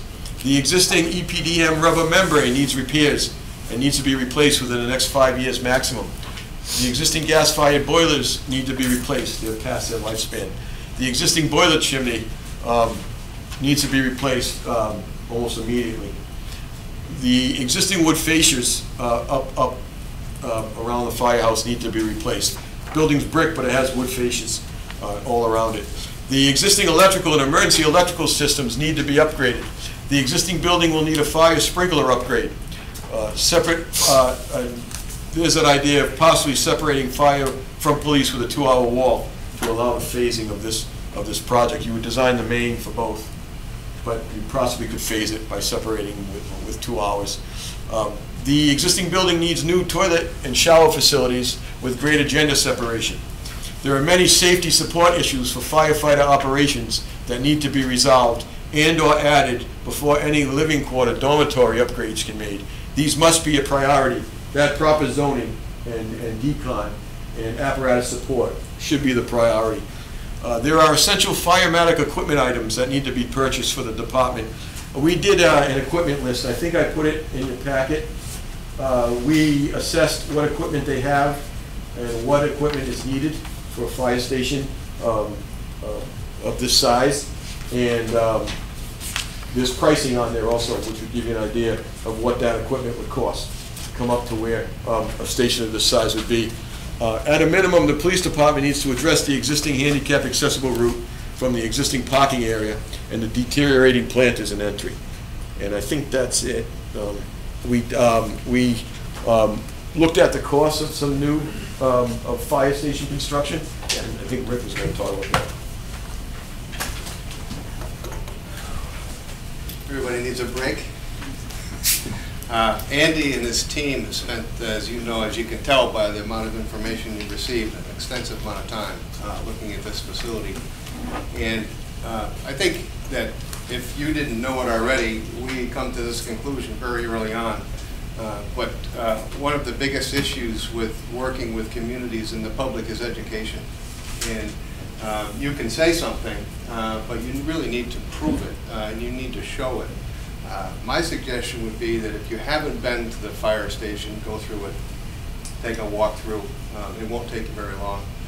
Um, And you'll start to realize some of the areas that Andy and his team has pointed out here. Uh, And the big issue for us is safety, even something as simple as when he pointed out the uh, floor drain in the apparatus bay, uh, and that they're inadequate. Um, the reason they're inadequate is because those apparatus, if they're, in some cases, they're being, maybe being washed in the facility, or they're coming in and they're dripping, uh, and the floors get wet, uh, you really need to have an an efficient collection uh, means to get the water off of the floor, uh, because your first responders are racing to that equipment that'll later uh, call 15 minutes later. So we're looking at every aspect of a facility and, and what is the right design and what's the right way to treat a facility. Um, We went through and had uh, this scheme uh, that was presented. Do you want to put that budget up, Andy? I don't know if you have it. Yeah. Go back, yeah. Um, We had this uh, scheme uh, professionally estimated uh, to give us an idea as to where, uh, where we see the costs today. And those costs were escalated out to, say, if we were to start design and put it out to bid, would be the start of construction in the fall of 2020, so we've already added in a, a year of inflation. Um, It's, you know, it's sticker shock. It's, it's sticker shock for all communities. Uh, We've, we've done this uh, a number of times for police and fire facilities. And uh, again, the biggest part is education. Uh, But the total cost to renovate this facility, because there really is nothing left of that facility, it, it all needs to be renovated. Uh, You know, and you talked about the structure and the lateral frame of this, of the facility. To rebuild there, that station, the apparatus space that exists today need to be renovated, and then we're building new for every, everywhere else. Uh, The estimates, including um, escalation and, uh, and, you know, uh, a a lot of assumptions, because we don't have a full design, uh, the building would, would cost uh, in the range of about 9.5, uh, nine nine million five hundred thousand dollars to renovate and build new there. Uh, And then there's soft costs associated with that. And a, a healthy budget, uh, normal budget is usually gonna run about twenty percent soft cost to hard cost. And so we, we did an extensive uh, detailed budget for, uh, for the committee, uh, that we've, we've sort of uh, scrunched that down because it gets a bit overwhelming when you're looking at 20 or 30 different line items. But we've looked at the radios, we've looked at, uh, we've included costs for radios and towers and uh, furniture, and all of the elements that go into a new facility, but we sort of scrunched that up for you so you could see it. Uh, And then we've added a contingency of 10% at this point, uh, because we think that that's a healthy way to look at a project uh, at this stage in the project. We've got a lot of information, but the design has not been progressed very far at all. Uh, So the total cost for construction, um, uh, if we were to start, uh, you know, building it next fall, would be about $530 a square foot. And the all-in cost for the uh, development budget, uh, including the soft costs, would be about $740 a square foot. Now, uh, that, it's, when people look at that, they say, you're crazy. That's just not, that's just way too much money, that's too expensive, Uh, you're, you're building too much.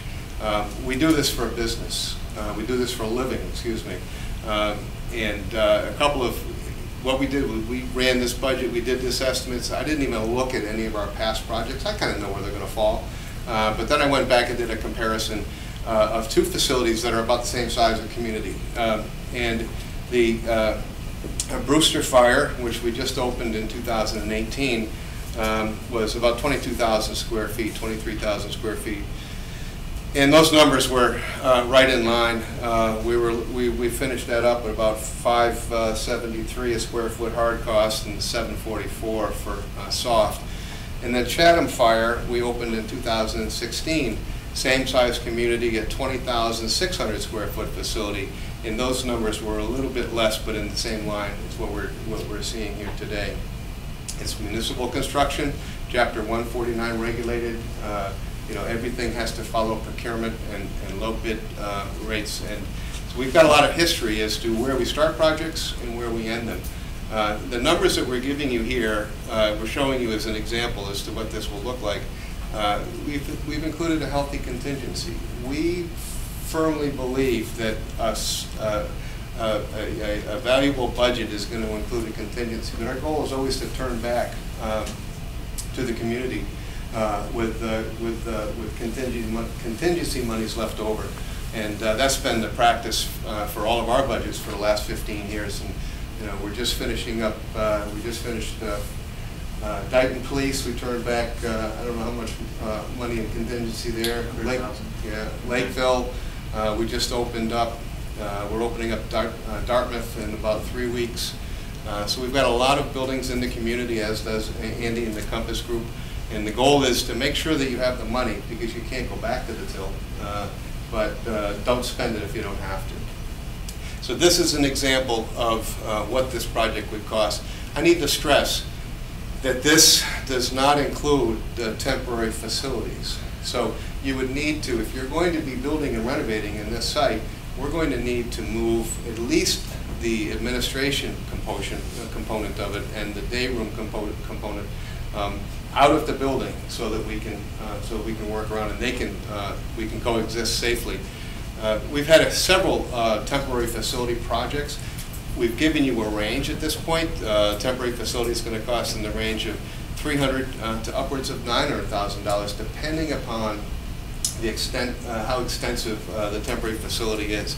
To give you an example, in Chatham, we relocated the fire department operations into uh, scaled-down mobile home units that were mulled together. Uh, So we used those mobile homes as their day area sleeping quarters, and we had a separate mod for the administration.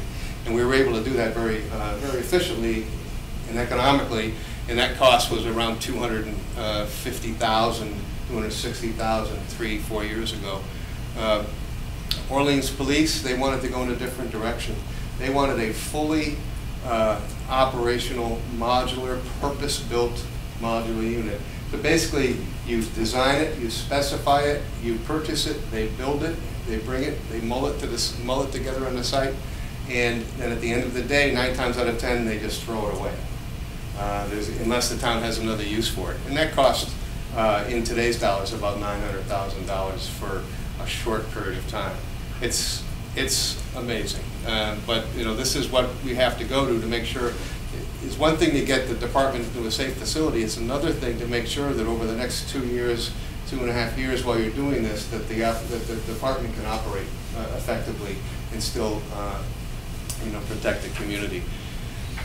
That's where this, you know, boils, uh, boil, this, that's what this boils down to at this point. If we're going to meet the goals and objectives of a basic plan. Uh, This does not consider the, the, the the full twenty thousand square feet that would be the ideal as compared to other communities. I would recommend that you do some research uh, and, you know, and look at, uh, we can, we can bring you to a number of communities and you can, we can have you tour our facilities. Uh, You know, and we're not, uh, we're not breaking new ground here. Uh, This is being done uh, from one community to the other. And what's happening is the communities are starting to realize that they've spent, you know, they've, they've, they've taken care of their schools, they've taken care of their libraries because of the, the the reimbursement factors and the need. Uh, In many, many situations, like police and fire have been left, uh, left to the side, but it's, there, there comes a time that it has to be dealt with. The problem doesn't go away. That's, uh, you know, that's the reality of it. Um, You know, a simple fix today wouldn't even, uh, wouldn't even address the needs of the department. And you can decide, you know, a year from now, you can decide three years from now, four years, or you can just, you know, put it underneath the table. The Problem doesn't go away. Uh, And uh, the department, uh, at this point, if you can see by the pictures and you walk around, you know, we think there's some, there's some substantial risk there. That's pretty much, we're open for questions and answers at this time. You can't, you can't go straight to a second story without addressing apparatus support. So that space, uh, first and foremost, apparatus support needs to be addressed, uh, such as uh, fill station, uh, decon, uh, toilet facility, you know, proper shower facilities. That has to be addressed first, and that, that has to be where it has to be proper zoning, right? Um, You just can't take this stuff, put it on the second floor. Can't do it. It has to be right there, right off the apparatus bay. So priorities. I have a question. Do you have any idea, after having looked at the police station, um, what something like that would, would cost, similar to what you addressed here, you know, the basics? I- And and would it be better off if both were done at once, or? There's certainly economy to scale if you do a public safety facility.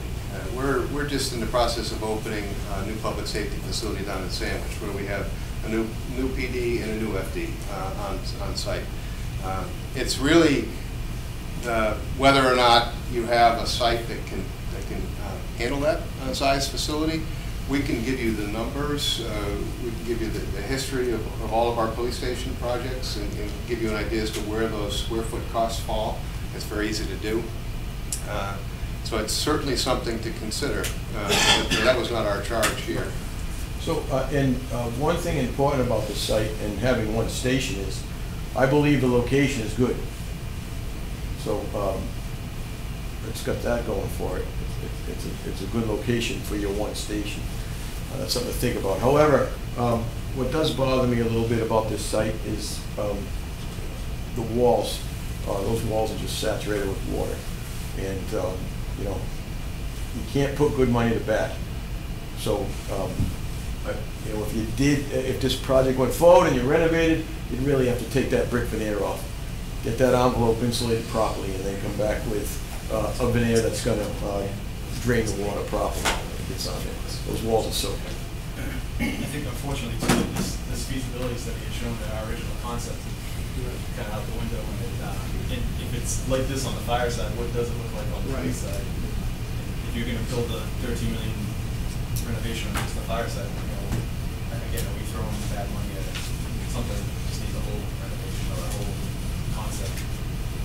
I just, if you, uh, my partner Taylor McDonald just showed me his numbers. Uh, We just opened up, we had a ribbon cutting uh, yesterday in Lakeville, for Lakeville PD, and that came in at just north of seven thirty-three a square foot, uh, entire development project. So it's right there in line for the police side of things. Rick, in some of these uh, places that you've done, uh, has there been any uh, availability of public uh, funding, grant money, et cetera, that these other communities have tapped into? Unfortunately, no. We have not, uh, we have not, we've, we, we we received a design uh, award for Brewster, uh, uh, out of Firehouse Magazine, but it didn't come with any money. It came with a nice poster. We received the silver award, which is fantastic, but uh, it- there's no grants available that we've been able to, uh, we've been able to identify at this point. For equipment, it's a different story, Uh, but uh, for the facilities, it would be nice, but we haven't seen it. Yeah, we've seen separate departments be able to get equipment grants, um, but uh, the grant side of things is, is more for schools and libraries that we see in the state. The uh, Sandwich facility that we're looking at doing now, that's a combination of police and fire, and that's that all completely new construction.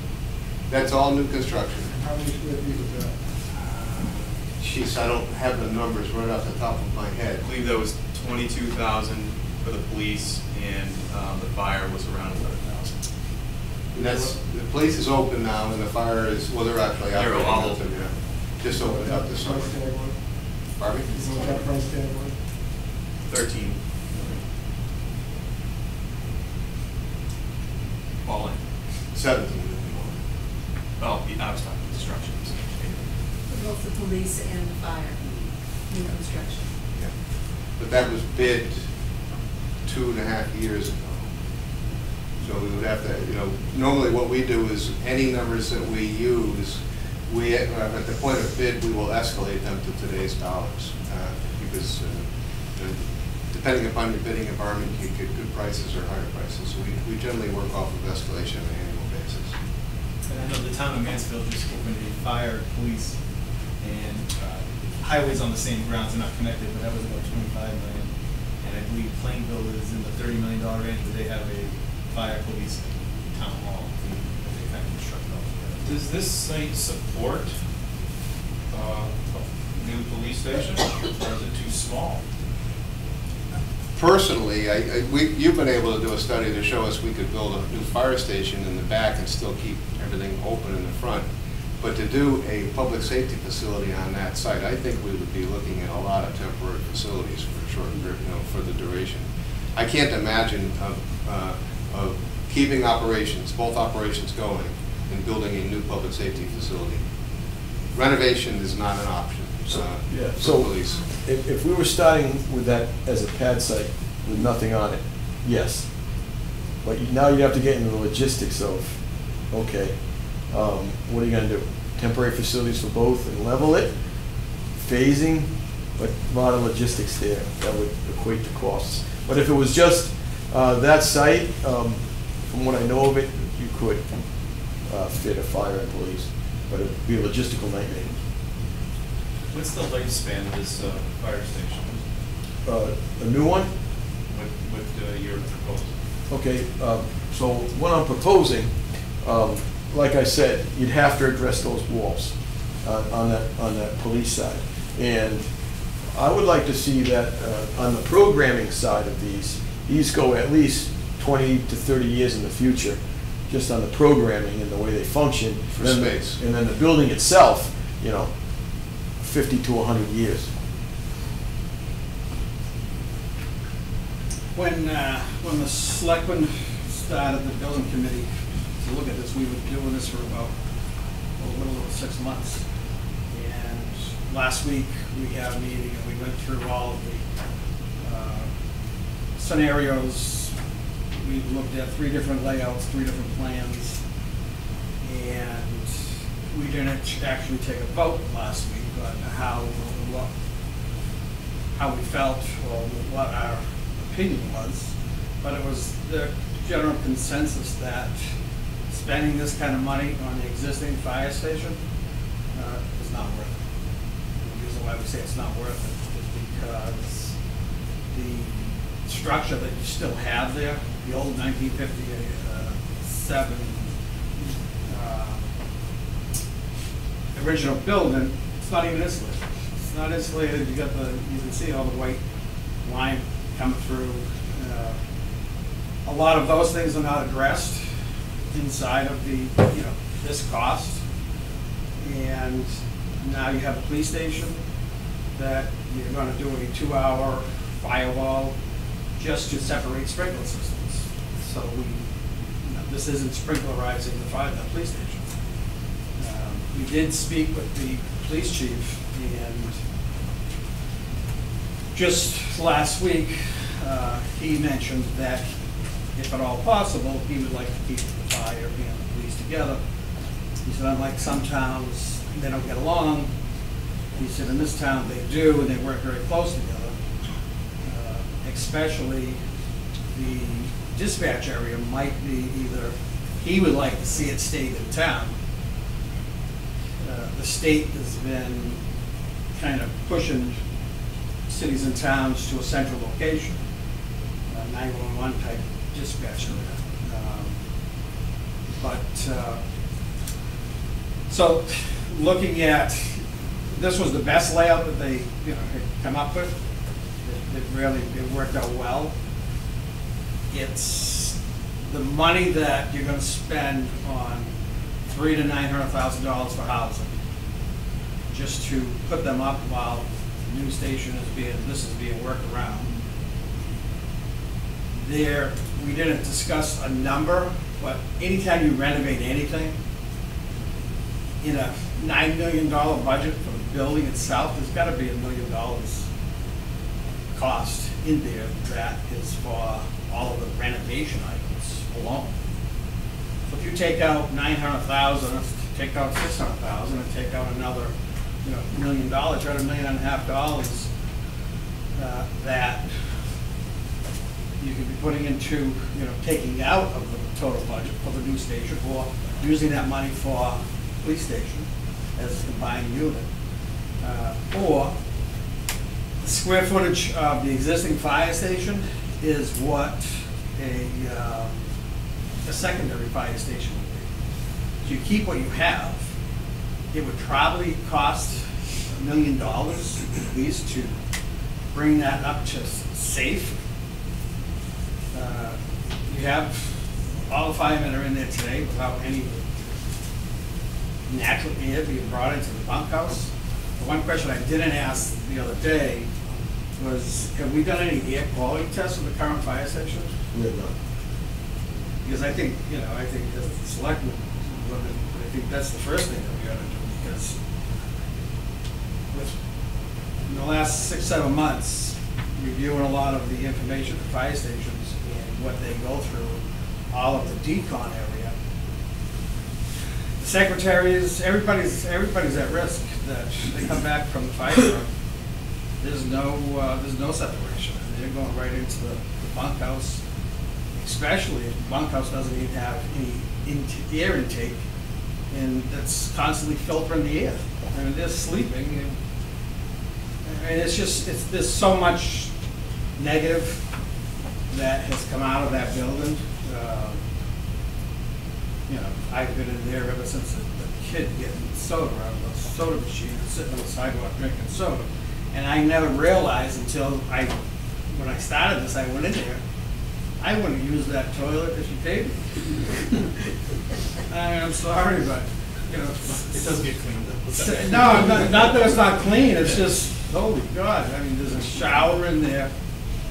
I think um, even though we don't have any female firefighters, we do have two female admins. We're Yeah, very- Very I didn't ask, but I'm sure, you know, if I was Sally, I'd go home, she lives close by, but, I mean, it's just, it's, I'm serious, and I'm not, you know, I'm not making a joke about it, it's, it's pretty nasty. And again, I've lived in Raynham since sixties, and I've been over there an awful lot, and I'm embarrassed that I haven't even, I drive by, I don't go in. When I do go in, it's Dan, specific. did the building committee come up with any conclusion, solution, or decision of any? We didn't want to start on that only because we were directed towards the feasibility study. Well, yeah, that's, And the feasibility study, you know, now it's kind of a, uh, we have um, air quality problems.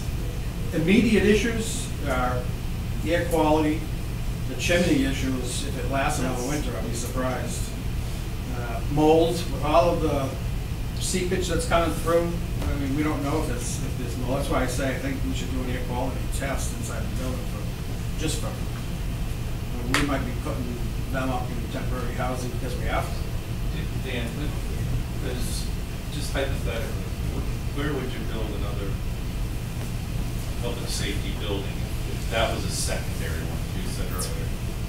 You know, I had mentioned uh, at our meeting that I think out of this, I think the selectmen should uh, look at putting, putting together a group to kind of start looking at the maps, the assessment maps, and seeing what we have available. I started doing it at home, and, excuse me, there's a lot of small little pieces. Uh, I have a piece in mind, uh, a couple of pieces in mind, but I'd rather not say on the outside, just, you know, I think it's something we should go through. So do I. Yeah, there you go.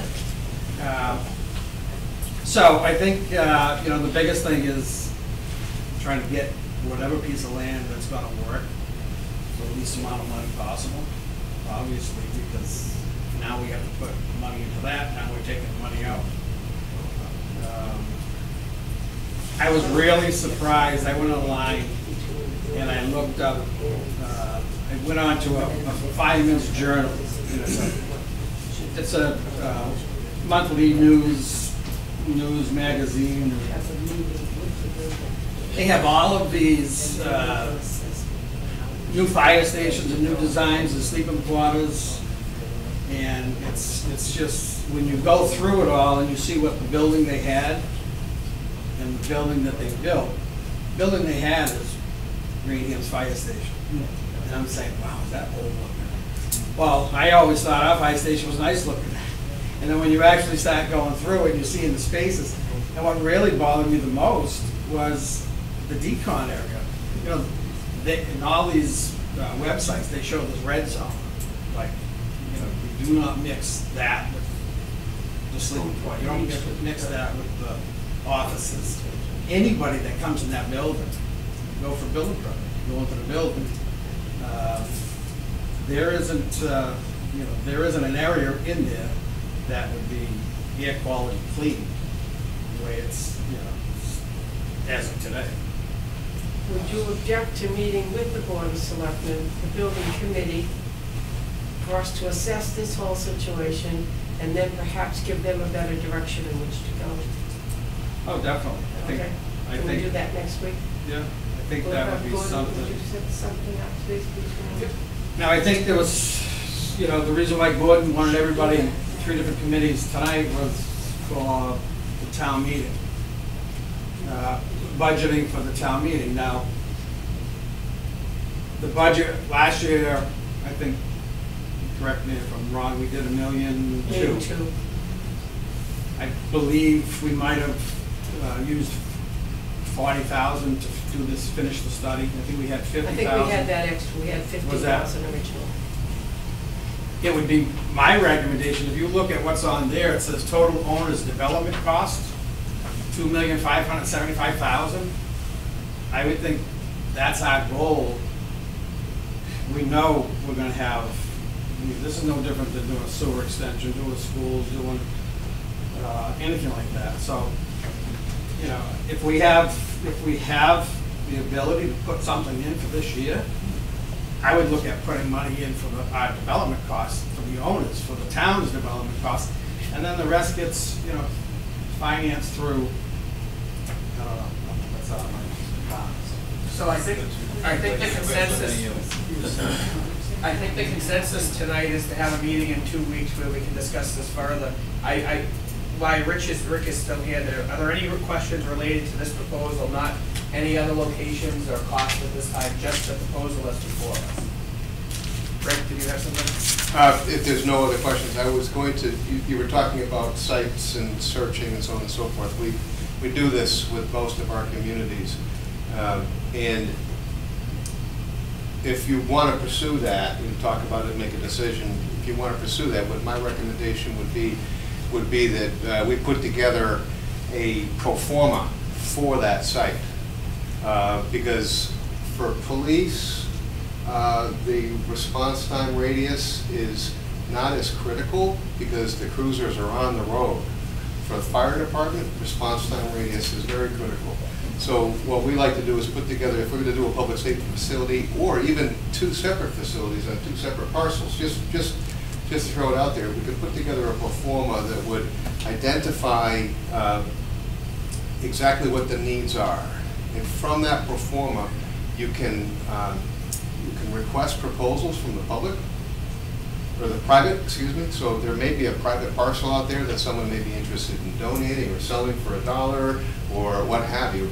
You can't acquire private property without going through a uh, RFP uh, process, but it can be done very simply. We establish the pro forma, we establish rating analysis, and then what you're doing is you, you, you publicize to see what's available out there on the private side, all the while you're searching your town-owned parcels.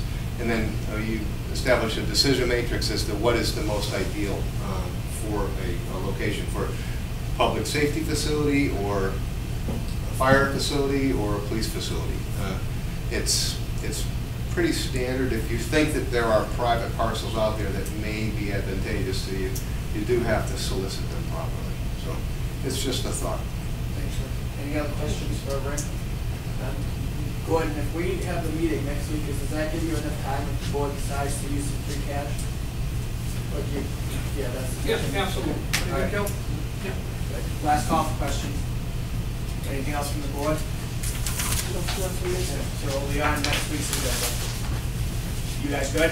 Thank you very much. Thank you. I'll entertain a motion to Thank you. Adjourn. Second. Thank you, Okay, Andy. Yes. Aye. Did great job. Thank you. Great job.